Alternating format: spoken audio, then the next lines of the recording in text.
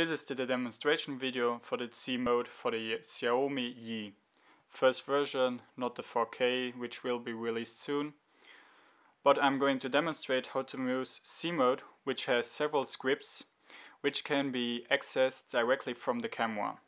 So I'm going to turn it this way, where you can see the front light, the light on the upside near the shutter button, and the light here near the Wi-Fi.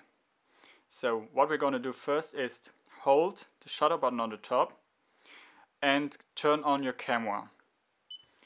The camera turns on and we wait until, until this flashing stops and here the lights come up. So this is up. Now we click one, two, and as you can see it registers here on the top, three. Now we can release and the lights here are flashing again. Now it reboots and we'll wait. We will till the long beep and now the flashing light indicates one, two, three. So three times, three times indicates that we have loaded the script free. That is actually all you have to do. That's the same thing for the first script, for the second script.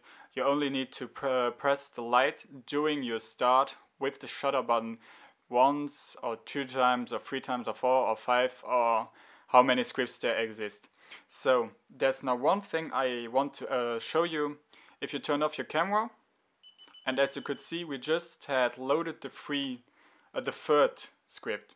So if you want to keep those settings, simply turn off your camera without any additional uh, button pressing and the camera has directly or automatically uh, installed the third mode.